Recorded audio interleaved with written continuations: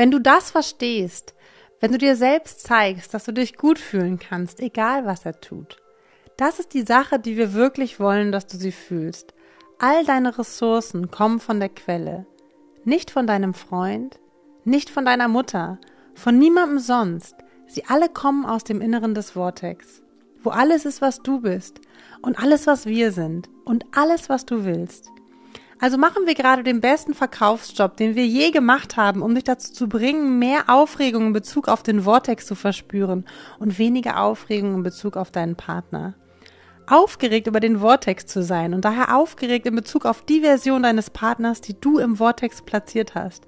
Und vielleicht wird er derjenige sein, der in Form einer Manifestation auftaucht. Und vielleicht wird es jemand anderes sein. Aber dein Partner wird auftauchen und er wird sich so verhalten, wie du es willst, wenn es keine Rolle spielt, wenn er es nicht tut. Wenn du dich sicher fühlst, unabhängig davon, was er tut. Siehst du? Wenn du dich so oder so sicher fühlst. Solange deine Sicherheit von einem anderen abhängig ist, bist du unsicher. Also was du dann sagen möchtest ist, das ist großartig ich kann dich sehen. Ich kann sehen, wie du das machst. Und es erregt mich wirklich, wenn ich daran denke, dass dein Leben für dich funktioniert. Auf die Weise, wie sie es tut. Und nichts macht mich glücklicher, als zu wissen, dass es dir gut geht. Ich will das wirklich für dich. Und genauso will ich es für mich. Macht es nicht Spaß, von all den wundervollen Zukunftsdingen zu wissen, die in unser Leben kommen? Spüre, auf welch andere Weise er das hören würde, als die Schwingung, die er von dir bekommt. Mit anderen Worten, er mag dich ein wenig zu triezen versuchen. Aber wir glauben nicht. Wir denken, er ist nur aufrichtig begeistert über das, was vor sich geht. Und er denkt gar nicht so sehr an dich. Und das ist die Art, wie wir wollen, dass du bist. Es ist eine gesündere Art zu sein.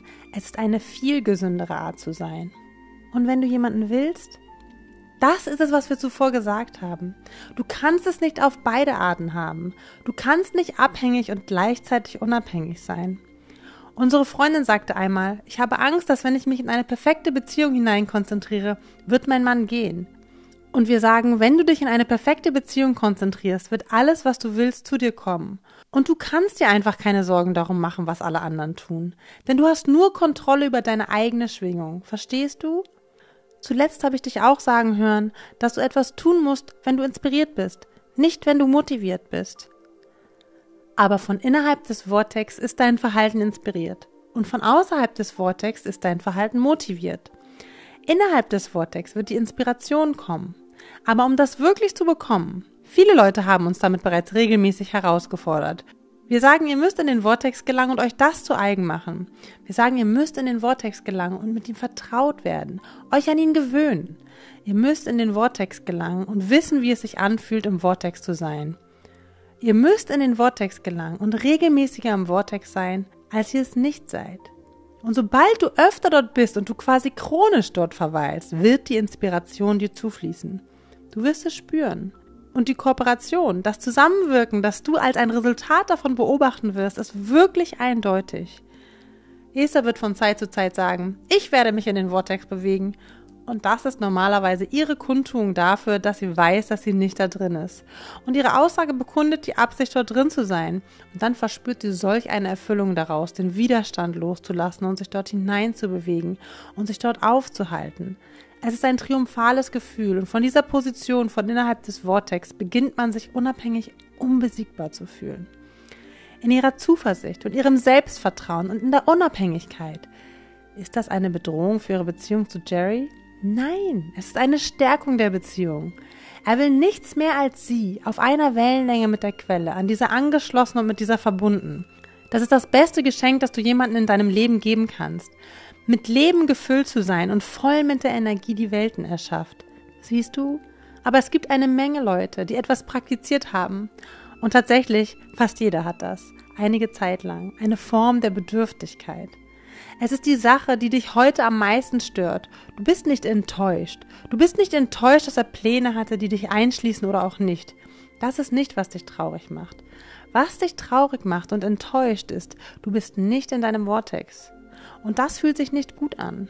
Etwas, das er gesagt hat. Etwas, was er gesagt hat. Und denke darüber nach. Also er hat etwas gesagt, das dein Missverständnis verstärkt hat, dass das Gute von dir durch ihn fließt. Und da es in diesem Moment kein Anzeichen dafür gab, dass es floss, fühltest du dich unsicher. Wenn du chronisch in deinem Vortex verweilt wärst, hätte es dich nicht unsicher fühlen lassen. Du hättest gesagt, gut für dich, ich will das für dich. Ich kann es nicht erwarten, dass meine Millionen auch fließen. Und manchmal legen wir unsere Millionen auch zusammen und machen etwas zusammen, das wirklich Spaß macht.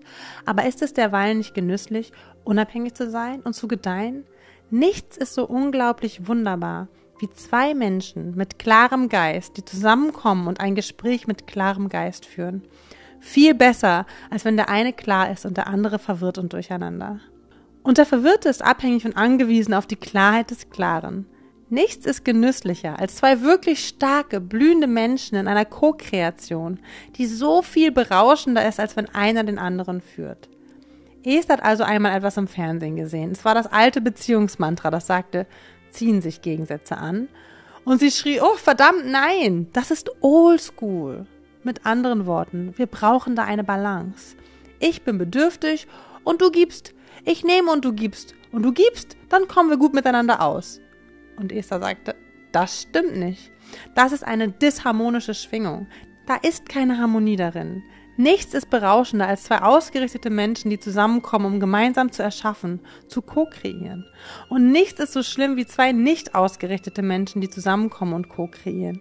Es ist fast genauso schlimm, wenn einer ausgerichtet ist und der andere nicht. Siehst du?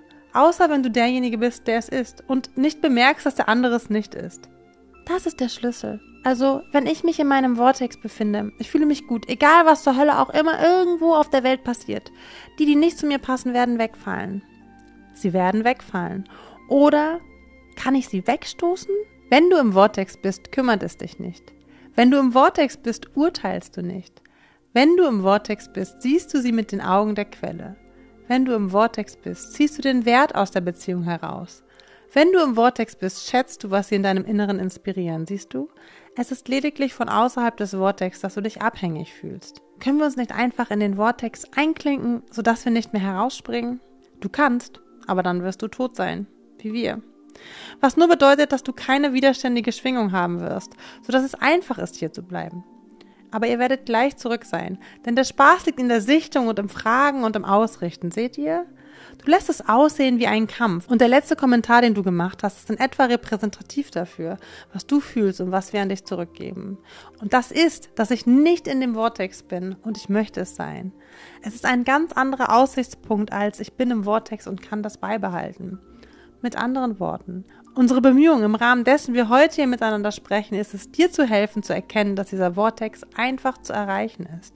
Du musst es nur üben. Und was wir wirklich wollen, dass du es hörst, ist, dass du, sobald du dort hineingelangst, es dann so lange wie möglich aufrechterhältst, solange du kannst. Mit anderen Worten, geh hinein und lies eines dieser Bücher vom Inneren des Vortex aus. Gehe da rein und schaue durch ein Kartendeck durch, aus dem Vortex heraus, sodass du die Schwingung der Ausrichtung aus dem Vortex heraus übst. Es wird dir eine viel stärkere Stabilität im Vortex geben. Also, während du das tust, wenn du dann herausspringst, wird das dich nicht verrückt machen.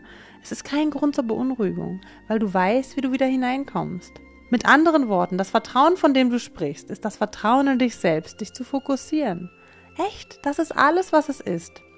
Und wenn du im Vortex bleibst, bist du wie das Auto, das 100 Kilometer pro Stunde fährt und gegen einen Baum prallt. Wenn man herausfliegt, du hast dieses Beispiel vorher benutzt. Vielleicht, vielleicht. Aber was du wirklich bist, ist dieses Auto, das mit 100 Kilometer pro Stunde fährt, in einer Umgebung, die sich 100 Kilometer pro Stunde bewegt. Und du hast die beste Zeit deines Lebens. Und wenn du herausspringst, wird deine Fähigkeit, sobald du die Fähigkeit hast, das ist eine ausgezeichnete Frage. Wenn du erst einmal auf diese Geschwindigkeit gekommen bist, ist das Herausspringen viel weniger häufig. Aber du hast recht, du magst es wirklich nicht, wenn du herausspringst. Nein, wenn du herausspringst, dann schlägst du gegen einen Baum. Das ist ein außerhalb des Vortex-Fokus-Kreislauf, in dem du dich da bewegst. Mit anderen Worten, wir hören deinen Kampf, den du mit all dem fühlst. Wir wollen nur, dass du uns vertraust, wenn wir sagen, wenn du dort hineingehst und dort bleibst, ist es einfacher, dort hineinzukommen. Während du da hineingehst und dort drin bleibst, ist es einfacher, dort drin zu bleiben. Und wenn du dort hineingehst und dort bleibst, macht es dir nicht so viel aus, wenn du nicht dort drin bist. Und wenn du dort hineingehst und dort bleibst, kümmert es dich weniger, wer noch dort drin ist oder nicht. Wenn du dort hineingehst und dort bleibst, sieht jemand anderes, der nicht da drin ist, nicht einmal so aus, als wäre er nicht dort drin, weil du so sehr da drin bist, was das wahre Aufrichten ausmacht. Wenn du, mit anderen Worten, Du holst dir deine eigene Kraft zurück. Von innerhalb des Vortex. Lass uns jetzt einmal sagen, du befindest dich in dem Vortex und dein Partner sagt etwas am Telefon zu dir, das dir einen kleinen Schlag versetzt. Es befördert dich quasi aus dem Vortex hinaus, nur für einen Moment. Und dann sagst du, Du wirst nicht glauben, was mir eben passiert ist. Hier bin ich total eingebildet am Glauben, dass ich auf einer Wellenlänge mit der Quelle an dieser angeschlossen und mit dieser verbunden bin. Denke, dass ich die Welt beim Schopfe gepackt habe, dass ich alle Ressourcen habe, die für mich notwendig sind, um mich gut zu fühlen. Und diese Aussage hat mich unsicher fühlen lassen. Ich werde nicht zulassen, dass das noch einmal passiert. Denn ich möchte nicht, dass mein Glück, meine Freude von irgendetwas abhängig ist, was du sagst oder irgendetwas, was du tust. Daher werde ich dich in einer Stunde zurückrufen, wenn ich zurück bin im Vortex. Dann legst du auf und du bewegst dich zurück in den Vortex. Dann rufst du ihn wieder an. Kann ich ihn einfach nicht wieder anrufen? Ich meine das ernst. Ich meine das tot ernst. Ich meine, dass das fast ja, es ist an diesem Ort. Da gibt es Gutes und da gibt es nicht so Gutes. Ich versuche zu sehr. Du sprichst weiterhin über ihn und wir sprechen über den Vortex. Und das sind zwei vollkommen verschiedene Themen. Und du kannst ihn nicht aus deinem Kopf bekommen. Daher kannst du nicht im Vortex bleiben. Okay. Daher könnte es gut sein, wenn du ihn nicht anrufst, aber der nächste wird nicht anders sein. Bis du dich mit ihm und der Situation aus dem Vortex heraus beschäftigst, kannst du dich nicht auf etwas zubewegen, das du willst. Siehst du, du kannst nicht weglaufen. Du musst Sicherheit finden. Du musst deine eigene Stabilität finden. Und du musst es dir selbst zeigen. Und wir haben zu vielen Menschen gesagt, ihr sucht nach Liebe an all den falschen Orten. Und wir werden zu dir sagen, du suchst nach Sicherheit an all den falschen Orten. Du suchst nach Millionen von Euro an all den falschen Orten. Du suchst nach deinem eigenen Wert an all den falschen Orten. Mit anderen Worten, wirkt es nicht so irritierend, dass es quasi das Leben aus dir heraus irritiert, wenn du dachtest, dass das der Weg sein soll, durch den es zu dir fließen wird? Und es dir nicht entgegenzukommen scheint? Und wir sagen zu dir, oh, wenn du erst entdeckst, dass du diesen Weg nicht brauchst, dass du den Weg bereits hast und es nur darum geht, dass du dich ausrichtest mit dir selbst. Du wirst dahin finden, in dich selbst zu vertrauen, dahin deiner Schwingung zu vertrauen dann werden sich andere gut betragen. Denn das Universum bringt dich nicht mit denen zusammen, die nicht zu dem passen, was du bist. Weißt du, was dich wirklich irritiert? Du erhältst, wen du auf der Schwingungsebene verdienst. Und das magst du nicht. Wenn du schwingungsmäßig zu dem passt, was in deinem Vortex ist, dann wird dir das Universum bringen, was mit dir dann zusammenpasst. Und du wirst es mögen. Was also kommt, ist immer dein Indikator dafür, was du auf der Ebene der Schwingung tust. Und ist es nicht wundervoll? Willst du nicht einfach anrufen und sagen, danke. Danke, dass du mir gezeigt hast, was ich auf der Schwingungsebene tue. Ich wusste das nicht, bis du dich so grottig verhalten hast. Ich dachte, ich sei auf einer Wellenlänge mit dem Besten, bis du zu dem Schlechtesten wurdest. Aber jetzt habe ich realisiert, ich bin auf einer Wellenlänge mit dem Schlechtesten. Ich habe etwas Arbeit vor mir liegen. Ruf mich nicht an. Mach es nicht zu einem Thema über ihn. Mach es zu einem Thema über dich. Es dir selbst zeigen. Du siehst auf natürliche Weise im Vortex das Stück Sicherheit. Wenn du dich dort hineinbewegst und es fühlst, werden alle Indikatoren das bestätigen. Und wenn sie aufploppen, das ist eine wirklich merkwürdige Frage. Aber eine Stimme sagte, wenn ich manifestiert habe und da bin, mein Leben bis vor einem Jahr, der hervorgehobene Weg war scheinend gelb und manchmal war er es nicht, sondern eher ein gedimmtes Gelb. Und wenn ich im Vortex bin, ist es dann, dann ist es immer hell leuchtend, immer unbestreitbar, immer sicher. Du sagst, es ist egal, was du denkst, das ist, was ich tue. Du weißt es einfach. Du bist wunderbar, du bist wirklich wundervoll. Du auch. Wenn ich mit Abraham spreche, ich meine, wir haben unseren eigenen Abraham. Also wenn ich im Flugzeug sitze und ich will meditieren, sage ich Abraham. Es ist immer das gleiche, oder? Wenn du in deinem Vortex bist, dann hast du Zugang zu der gleichen unendlichen Weisheit, die wir haben und wir sind, ja. Mit anderen Worten, die Trennung. Niemand braucht Esther in diesem Format. Und wirklich, wenn du darüber nachdenkst, wenn du außerhalb des Vortex bist und Esther ausdrückt auf eine Weise, die du mit deinem physischen Ohren wahrnehmen kannst, was wir wissen, kannst du es dennoch nicht hören. Mit anderen Worten, du musst in der Nähe dessen sein, was wir sagen, sodass es auch durch deine Ohren Sinn ergibt. Und wenn du im Vortex bist, dann brauchst du es dann nicht. Denn wir können es hören. Weil du bist, wo deine Lösungen sind, wo deine Antworten sind. Das Leben zeigt es dir. Worte lehren nicht. Das Beste, was wir hier mit Worten tun können, ist zu bestätigen, was du bereits weißt. Oder dich reizen. wenn du dich an einem Ort des Nichtwissens befindest.